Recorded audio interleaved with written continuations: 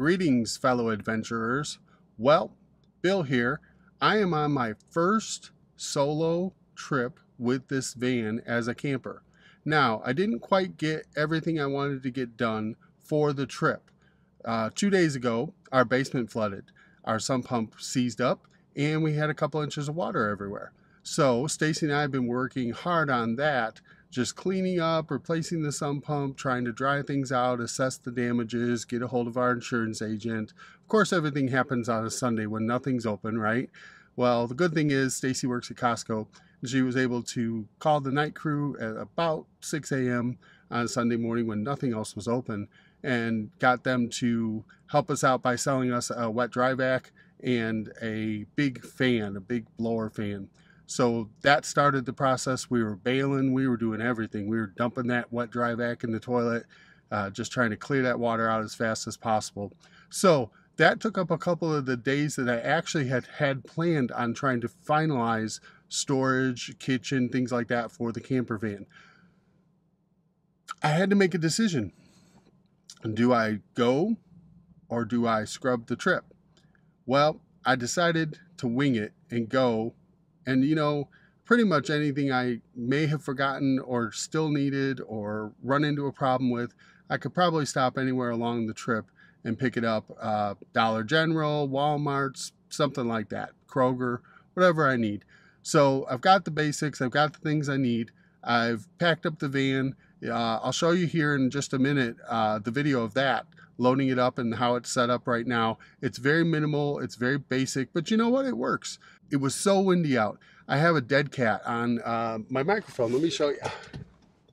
I actually have, actually have one of those nice little dead cats.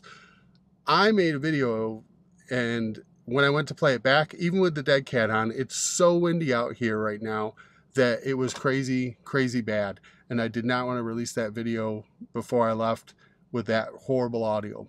I'll be stopping tonight somewhere around Louisville, Kentucky range, give or take an hour.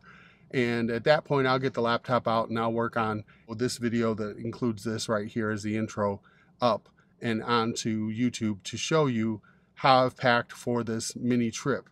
And like I said, it's not complete, it's not ready, but it's it's good enough to go with. So that's what I'm doing. And uh, I'm going to go down to Clarksdale, Mississippi, and see a big blues festival that my brother Dicky is playing at. Also, Kingfish will be there. If you know Kingfish, type in Kingfish Guitar on YouTube. You'll find him. If you want to see my brother play, type in Dicky James on YouTube and you'll find a video or two of his. Uh, it's going to be a lot of fun down there. Going to go see a bunch of music and have a blast and use the camper van. I found one place that's $10 a night that includes bathrooms as well as electrical hookup and even sewer hookup, but I don't need that. But um, yeah, along the way, I'm going to stop every couple hours. I've got a Planet Fitness uh, membership. So if I feel like getting a little massage chair in, or if I feel like just using washroom, or if I feel like just stretching my legs because I've been in the car for a couple hours, go walk on the treadmill or something. So Planet Fitness are, are kind of mapped out on the Google My Maps trip for me. I've got a nice little list and I can see all the Walmarts and the Costco's and the, know, the Planet Fitnesses things like that. Speedway gas stations, all those fun things I've mapped into my My Maps chart so I can see it on the trip down to Clarksdale, Mississippi.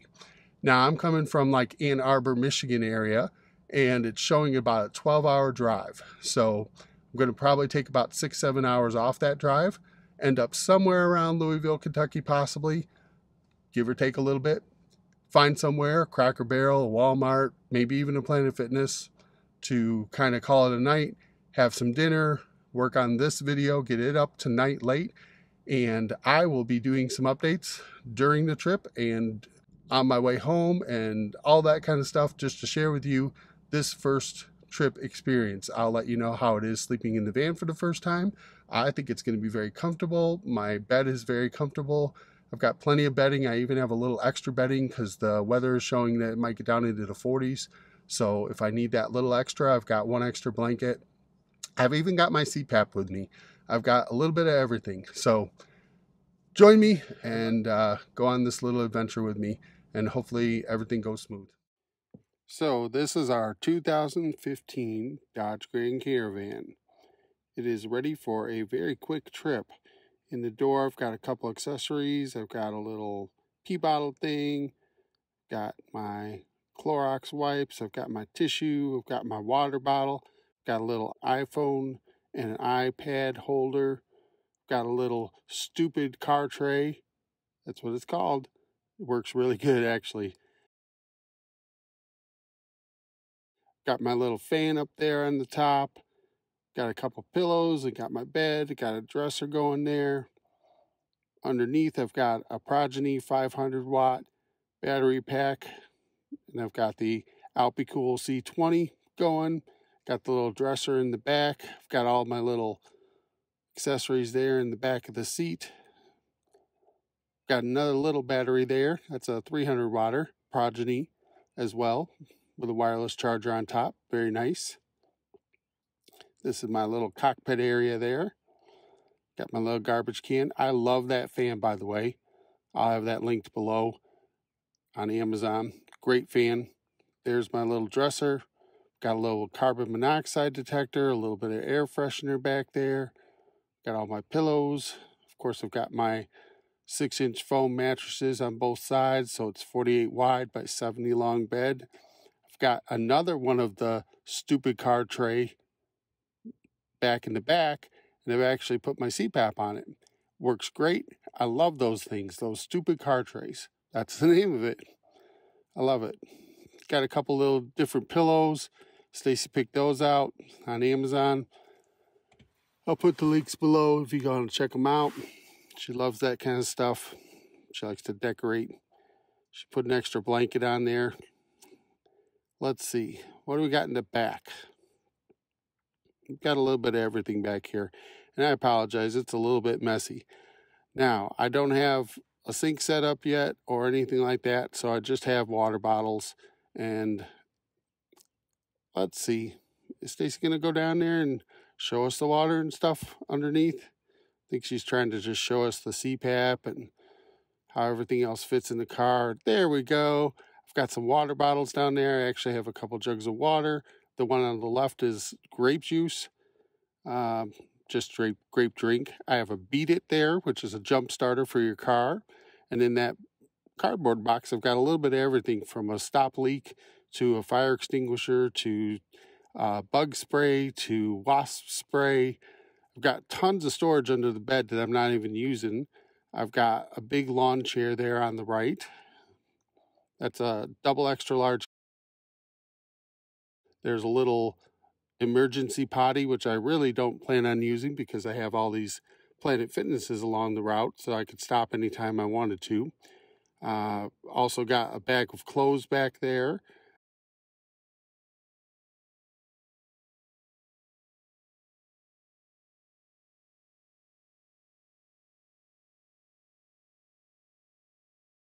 I'm actually using locks where the seats would normally go into the floor and then I'm running those locks through my handles of my battery packs. Now I know this isn't like top security or anything, but hey, you know what? If it slows them down, cool. It's a deterrent. That's all. Well, I didn't make it to Louisville. I made it to Florence, Kentucky. Ended up being a pretty bad accident on the expressway. I sat on the expressway in park for at least 50 minutes waiting for everything to get cleared. So I hope everybody who was involved in that is okay. And by the time that I passed, there was just wreckage all over the road and tow trucks and firemen and police cars. So something pretty bad happened. So it kind of delayed me a little bit. Um, I punched into Google Maps the closest Planet Fitness and found it here in Florence. It's a beautiful dual level Planet Fitness. I came in, I used the bathroom, I used the massage table, and then I got in about a 20 minute walk on the treadmill, which is all good for me because sitting in the car was really kind of driving me crazy. And when I wake up in the morning, I'm going to go to the back of the lot here and crash. When I get up in the morning, I'll uh, get a workout in, take a shower, and head off on my way down towards Clarksdale, Mississippi. I think I have another eight hours to go about. So um, I'm going to do my best to just keep on trucking and keep on moving. Hopefully the traffic will be good and the weather will be good. And uh, I'll probably get another five, six hours in, get closer down to like Memphis area, maybe Louisville. And then on Thursday is the first day of the festival. I'm hoping to get into town somewhere around noon, one o'clock, something like that. Maybe grab some groceries.